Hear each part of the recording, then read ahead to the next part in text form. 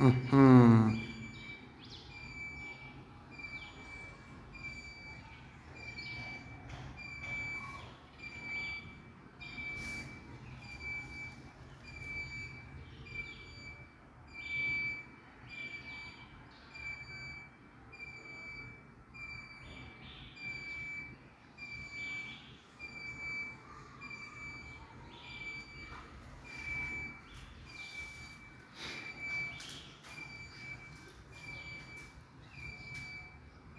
Wala ale dessin de filɛ nin ye